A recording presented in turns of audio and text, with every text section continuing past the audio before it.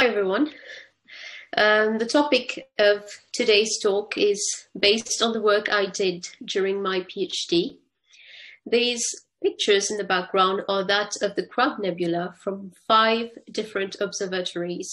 Starting in red is radio, then infrared, then optical, ultraviolet, and X-ray. The last image is a composite representation from all five. In general, the multi-wavelength, multi-messenger um, study of a source allows us to grasp a global and complete understanding of the source in question.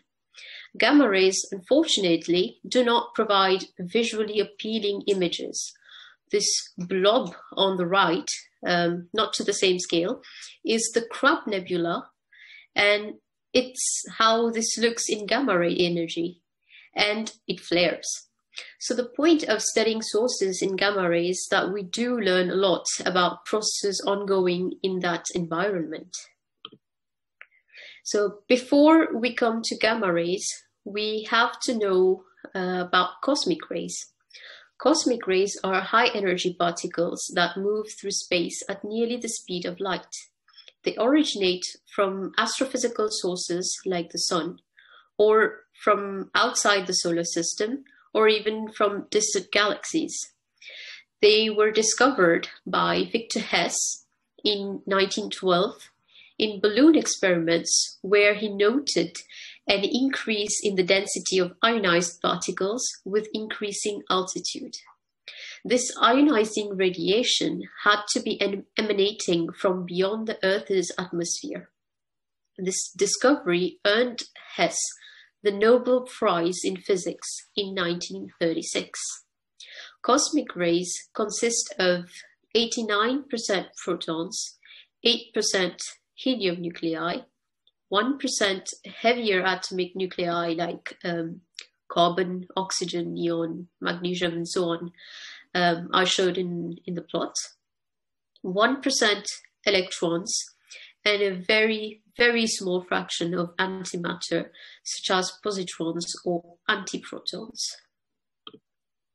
Now coming on to gamma rays, that they are produced via the interactions of these highly energetic charged cosmic ray particles with different environments they encounter. Due to the distinct types of charged particles we just saw, and different ambient astrophysical media, matter, radiation, or magnetic fields, the nature of interaction is not unique and lead to different gamma ray emission mechanisms. If electrons are responsible, the channel is leptonic. Otherwise, if protons are responsible, the channel is hadronic. So the first mechanism is Bremsstrahlung, or braking radiation. This is when a photon is emitted as a result of energy loss of electrons as they get decelerated while passing in the electric field uh, in the vicinity of atomic nuclei and ions. Second is inverse Compton. This is when a high energy electron scatters off a low energy photon such that the latter gains energy and the former loses energy. Then third, we have synchrotron. Here, electrons with relativistic velocities are moving in a magnetic field. They spiral around the magnetic field lines. And as a result of this circular motion, the electrons experience an acceleration and therefore emit photons. The last one is neutral pion decay. So when a proton collides with another proton or with a heavier nuclei, pions are produced. Without um, going into too much details about pions, there exist charged pions which decay into muons and neutrinos, and neutral pions which decay by emitting a pair of photons. Now, in all these cases, the photon emitted could have a range of energies. But we are interested only um, in this gamma, in this gamma ray energy. So astrophysical sources, as we have seen, inject cosmic ray particles in their surroundings, for example, protons. So since these are charged particles, when they encounter magnetic fields, they get deflected. Therefore, they may never reach us at Earth. However, as we have just seen, these injected protons can also interact with the interstellar medium or interstellar radiation fields to form secondary particles like photons with energy in the gamma ray or particles like neutrino. So these photons or neutrinos, they have no charge. They therefore travel in straight line paths to us and hence they point back to their origin, which means that it allows us to deduce things about the source or the source environment. Since I will be working with gamma rays, I um, will ignore the neutrinos from now on. So gamma rays, they are part of the electromagnetic spectrum. They come in a broad range of energies, typically above 100,000 electron volts. Electron volts is the unit for energy that we that we use. And um, there is no single observatory that can cover this entire range the earth's atmosphere absorbs gamma rays so that direct detection has to occur in space for example with the fermi um, gamma ray uh, space telescope uh, the LAT mission on board it, uh, Large Area Telescope. Indirect detection, however, can be made using ground-based observatories, and examples of such observatories are the High Energy Stereoscopic System, HESS, or HAWC, High Altitude Water Cherenkov Observatory.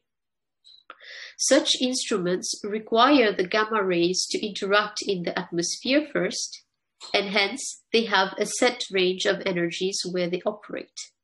This energy regime is called very high energy. My work is in the context of HAWC, the High Altitude Water Cherenkov Gamma Ray Observatory, so I will introduce this observatory in more detail.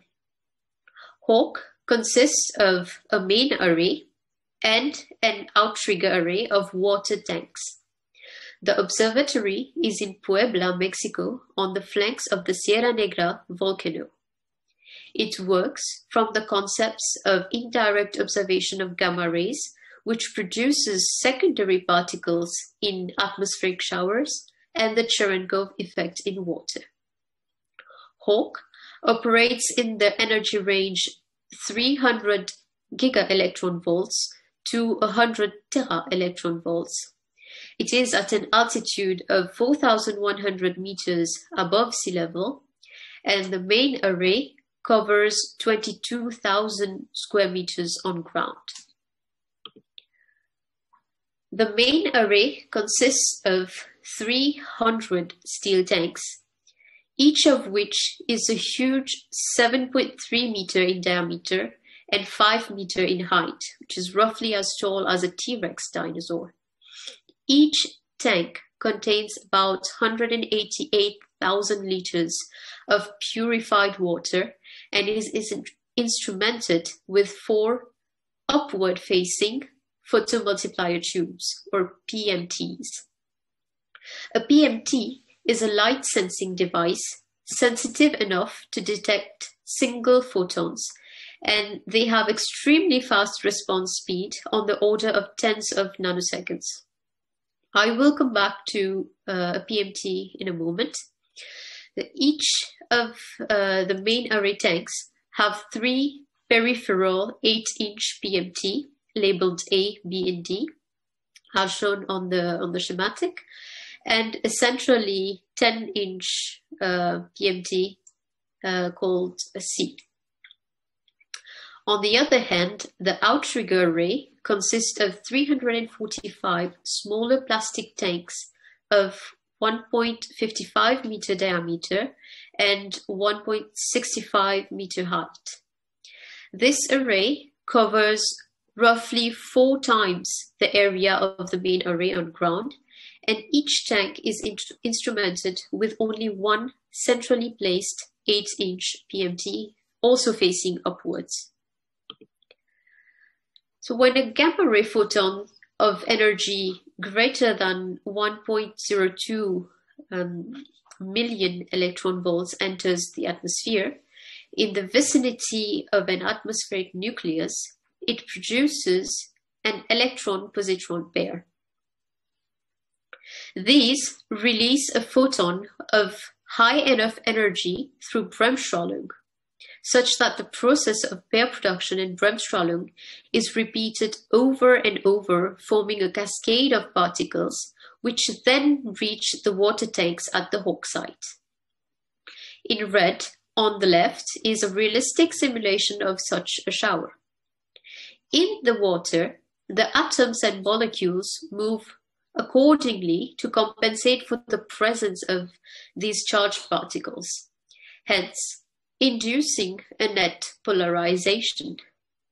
Once the particles have passed, the medium relaxes through a series of dipole transitions which are responsible for uh, emission of electromagnetic radiation. For sufficiently uh, energetic particles traveling faster than the velocity of light in the water, this Radiation adds coherently in the shape of a cone. This emission is called Cherenkov radiation, and the PMTs are calibrated to detect that light. Coming back to the PMT, on the left uh, side of the slide is a picture showing a 10 inch PMT on the left and uh, an 8 inch PMT with coaxial cables on the right. And uh, on the right side is a schematic of the PMT, which describes its, its functioning. Essentially, a high voltage is applied to the PMT, giving it an electric field between um, a negatively charged cathode, intermediate dynodes, and a positive anode. When a Cherenkov photon is incident on the cathode, it knocks out uh, an electron through the photoelectric effect. The latter then proceeds towards the positive plate, knocking out other electrons in its way, such that an amplified signal can be read out, uh, sorry, can be read out in terms of charge or photoelectrons, or just PE. The PMT signals are received by the data and acquisition system, and we basically save observables such as the light level, or often called charge, um, as I just mentioned, in PE units.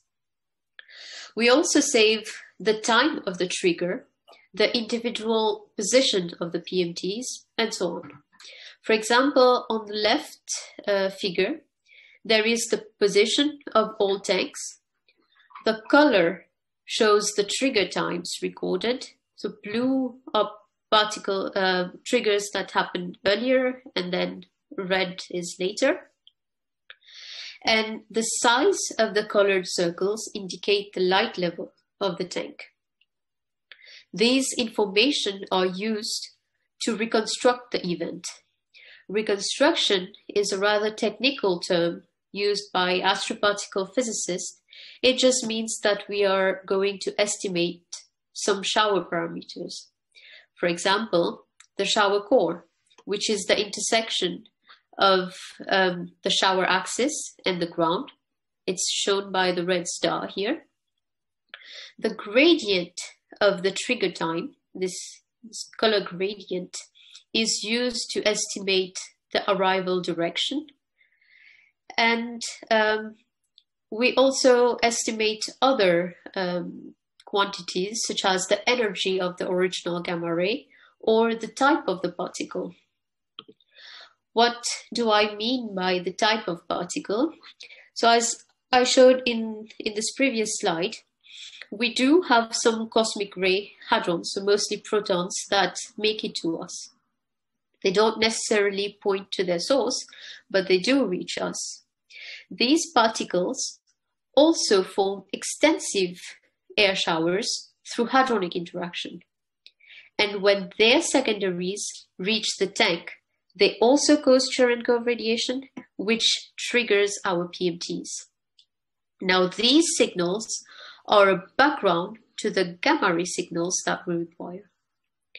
And therefore, it is crucial to identify the type of particle causing the shower.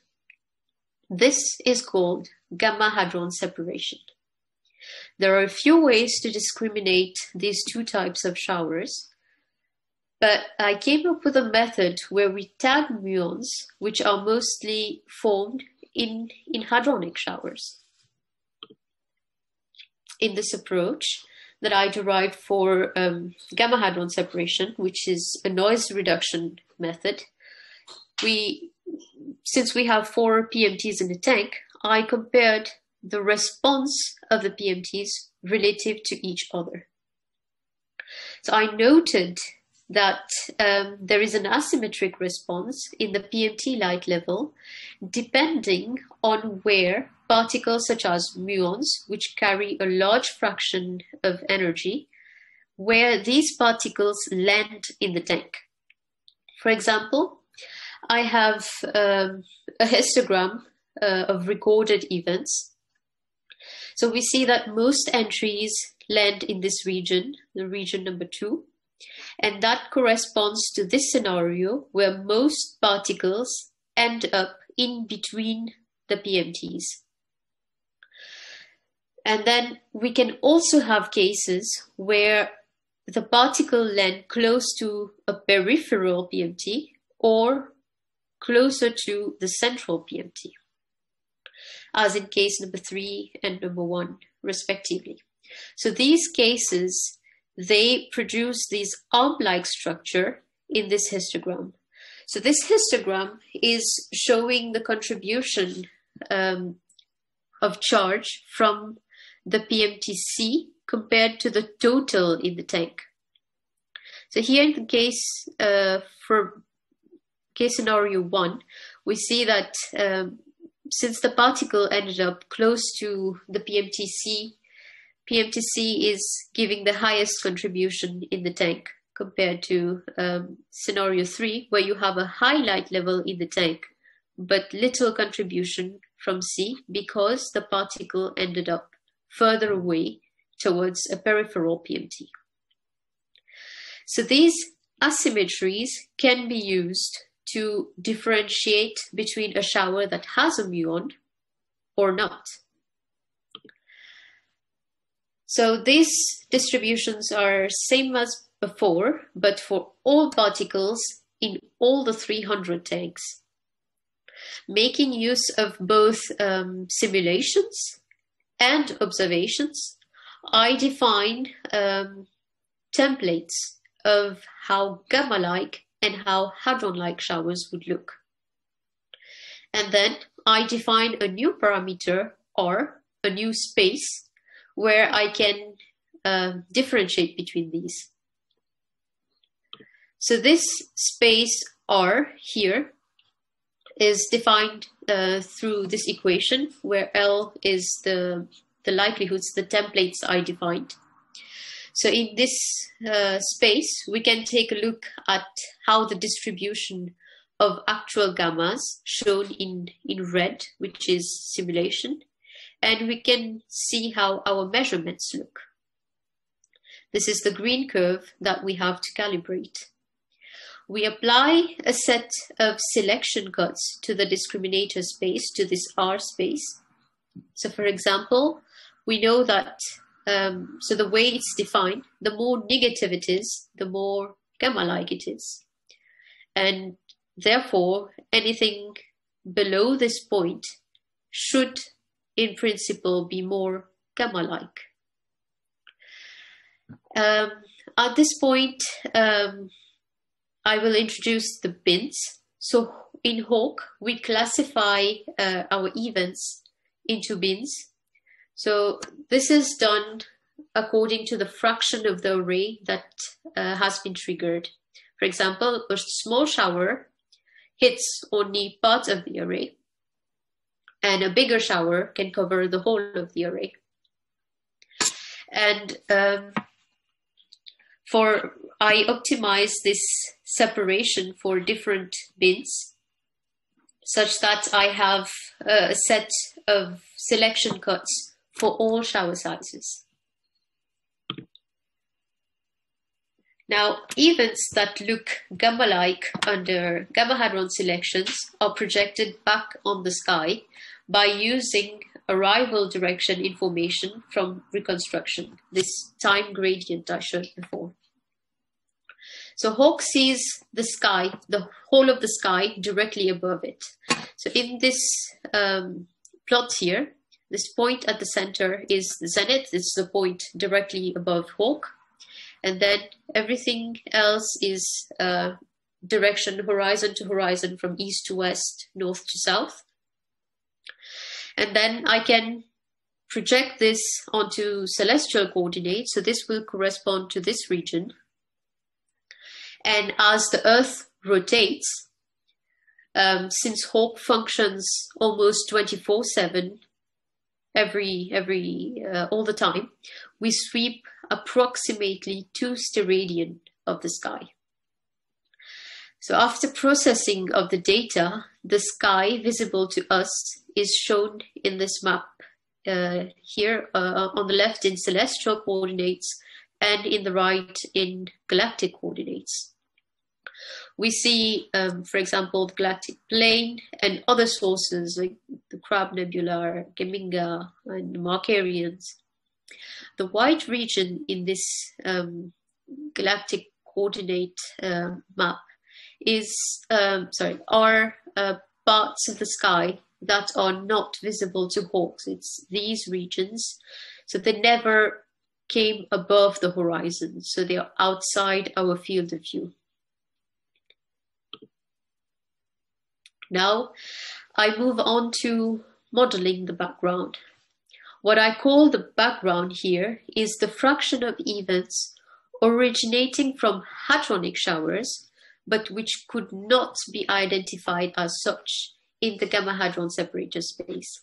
That is, if I have selection cuts in my space for gamma-like events here, background would be those events from the hadronic showers, which were misclassified as being gamma-like. Now this plot here is a normalized one. So if I were to, to draw it as it is, it would be roughly as in this schematic here, and it it's a significant proportion. And um, the gamma sources are actually small excesses seen on top of this background. So it becomes really crucial for one to model their background correctly. Um, just like I define selection cuts to make um, gamma-like maps, I can define a new set of cuts and define hadron-like events and make hadron-like maps. I now make uh, a legit assumption that the selection that I make can be scaled and used to represent the background. The scaling I refer to is the y factor in this equation, and it is extracted from these two maps. It's extracted both, um, we look at the variation both in right ascension and declination from, from these two maps.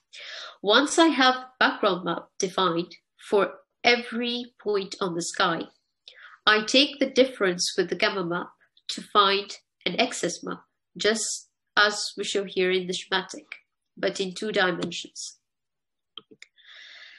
In this slide, I show how the excess map looks like. So we can see galactic plane, crab.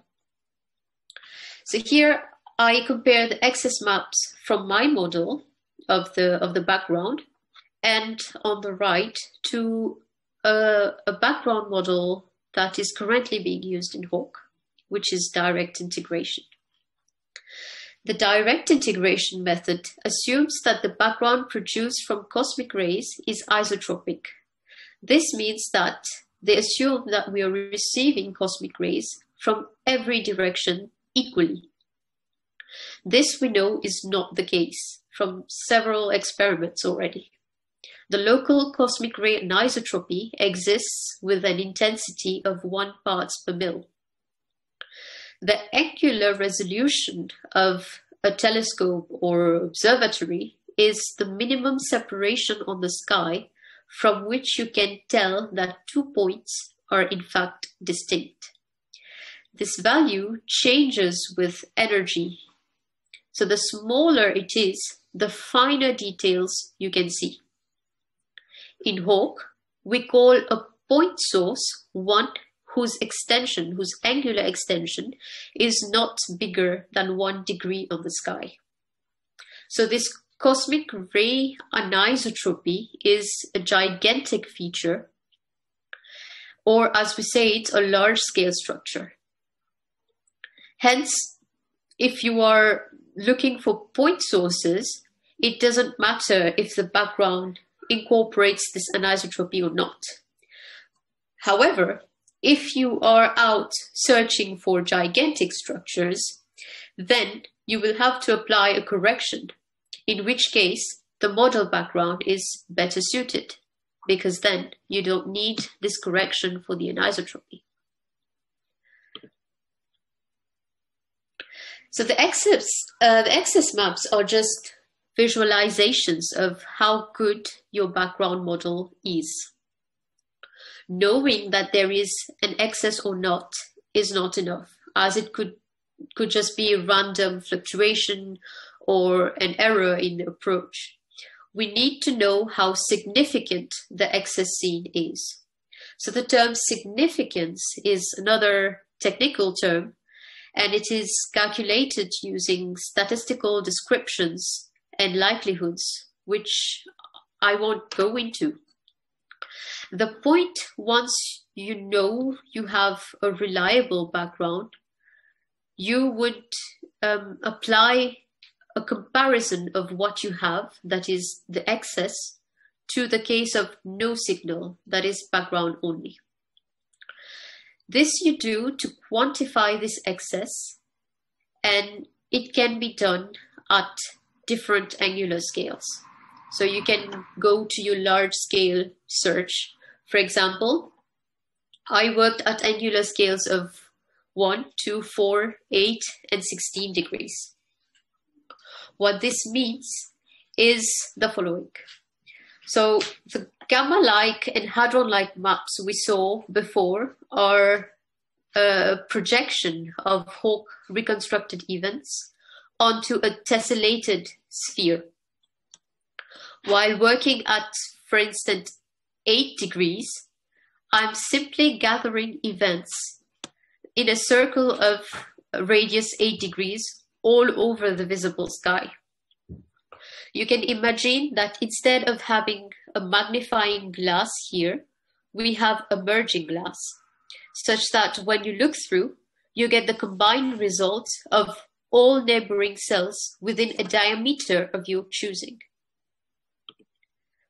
The significance map I produced are as shown with random noise at small scales and a large scale structure with up to 5.3 sigma significance at 16 degrees.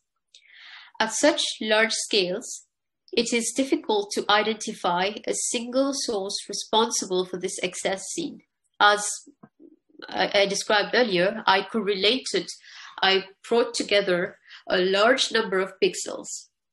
So what I can do is I list some candidates in this region. So on this slide, I show a zoom of the region in question, and I list the sources that could be responsible as first pulsars. So we have the pulsar J uh, 1740, and J1846 in that region. The line of sight to the pulsar J1740 goes through um, the Gould belt and the molecular cloud Aquila Rift and the North Polar Spur. Hence, it's a region with a lot of things going on. So I I named the North Polar Spur, the Gould Belt, and the Aquila Rift as potential sources as well. Here I show um, the North Polar Spur, which is part of um, a hot interstellar bubble created by winds of young um, and uh, hot stars and also supernova remnants. It is a characteristic feature seen in X-ray and it also connects to the loop one feature, which is also seen um, in, in both X-ray and, and radio. Here I talk about the Gould Belt and uh, the Aquila Rift. So the Gould Belt is a local expanding disk of gas and young stars, which uh, major local molecular clouds appear to follow. The image on the on the right shows the Rho Ophiuchi uh, cloud complex, which is a star-forming region in the Gould Belt. On the left, the image shows part of the Milky Way, uh, with the galactic plane being obscured by dark clouds. The most prominent uh, dark lane here is the Great Rift or the Dark Rift. The Serpens Aquila Rift is part of this Great Rift, and uh, it is a region of the sky in the constellation Aquila, Serpens Cauda, and Eastern Ophiuchus. In this slide, I show a schematic of pulsars. So pulsars are rapidly rotating neutron stars with a strong dipole magnetic field. They were first discovered by Jocelyn Bell in 1967. Such highly magnetized objects, they induce strong magnetic potential that are capable of accelerating cosmic ray um, particles to ultra high energy. Now, these ultra high energetic cosmic ray particles then interact, uh, as we've seen before, to produce the very high energy gamma ray emission. The interaction of um, these particles with the surrounding leads to the formation of pulsar wind nebula, as we have seen in the very first very first slide for the Crab Nebula. So this is the re- reason why um, it's so blurred in gamma ray uh, when you look at it in gamma ray compared to other wavelengths. So from my list of candidate sources, um, J1740, it is a relatively young pulsar that is off the galactic plane. Um, there was a study uh, on its associated pulsar wind nebulae that revealed a tail to the pulsar. This suggests that it's moving towards the galactic plane. However, as in here, tails are not a common feature of pulsars. This was an occurrence uh, of an extreme case of outflow from the pulsar while it's moving supersonically. The energetics of the pulsar, so how fast uh, it's rotating and if it's slowing down. Um, so all of this and its proximity to the system shows that it could be responsible for the new emission seen. However, um, radio observations are lacking for this pulsar. The same uh, is true for 18, J1846, the energetics are comparable to Geminga, which is a highly coveted source in gamma ray astronomy. However, it is six times further away, and again, we have a lack of radio counterpart. All these candidate sources make the source of this novel region quite confusing, but still very exciting. So that was a blind search I did for um, for HAWC. I also did a source specific search by applying uh, all the tools that I developed. So for noise redu- for noise reduction, the gamma hadron separation, the modeling of the background, and the signal processing uh, tools. I used those to search for signals from the Fermi bubbles. Uh, I will now briefly introduce the Fermi bubbles by enumerating its observed, derived, and unknown features. So observed, they are gamma ray structures first seen with the Fermi LAT at an energy range of 1 to 10 uh, giga electron volts. They are gigantic structures extending to approximately 55 degrees above and below the galactic plane. Uh, and they are roughly 40 degrees wide. Note here that 55 degrees on the sky corresponds to 8 kiloparsecs. That is approximately 1,650,000 times the distance between Earth and Sun. So that's really huge. The bubbles have relatively sharp edges that are also seen in X-rays. And they have what has been called uh, an X-ray chimney in the inner um, 100 parsecs. So although they look quite symmetric about the galactic plane, they have in fact um, an asymmetric, a slight uh, asymmetric uh, feature. The, the southern bubble is slightly bigger by um, 5 degrees, and there is a slight bend westward, so towards the right here. They are centered within the inner 200 parsecs of the galaxy, and although initially the Fermi-LAT uh, collaboration concluded a relatively flat brightness spectrum and luminosity across this entire structure. Recently, they amended this statement uh, with uh, a more um, conclusive study that there is harder and brighter emission that is seen from the base. Uh, I will now talk about the derived features of the Fermi bubbles. So the bubbles are a result of non-thermal emission because we see high energy photons from them. Also, here I show multi multi wavelength, multi messenger studies that has been done for the Fermi bubbles, and these have revealed some associated structures, some coinciding regions such as the microwave haze, the North Polar Spur, and uh, the Loop One. So these being um, so close together, they it's often suggested that they could have a common or a related origin. Uh, since some features are seen in X-ray, it means that the bubbles are hot and they are under dense regions. The asymmetry I mentioned implies that there is an enhanced density uh, towards the east because they bend towards the west. Um, what is unknown about uh, the Fermi bubbles is uh, their age, the exact source generating this emission, and the dominant gamma ray emission mechanism.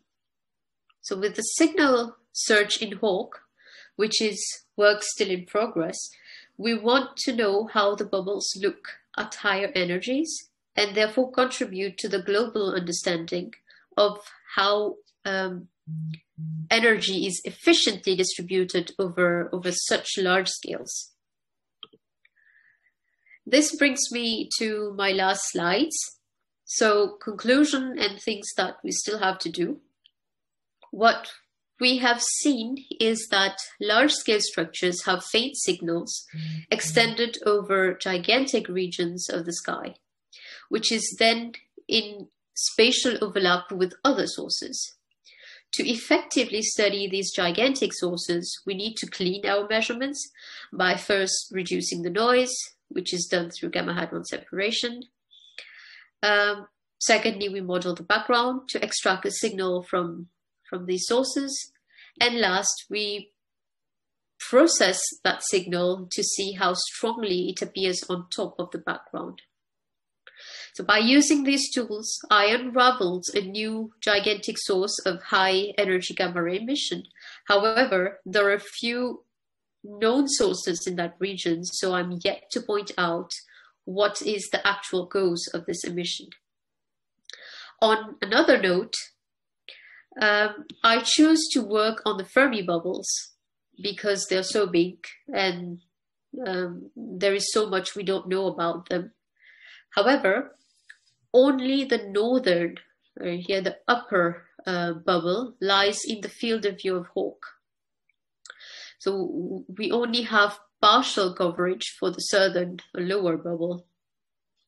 Moreover, as HAWC is based in Mexico, that is the northern uh, Earth hemisphere, the lower part of the northern bubbles, this part, is it, it comes above the horizon and it stays above ground for only a few hours per day, which means we collect very little data. Hence, we have low sensitivity to that part of the sky. Some of us at um, Max Planck Institute for Nuclear Physics are involved in an effort to build a HAWC-like detector called um, SWGO, which stands for Southern Wide Field Gamma Ray Observatory in the southern hemisphere so that we can observe the parts that we are missing out with HAWC. And um, yeah, this brings me uh, to the end of the talk. Uh, thank you for your attention.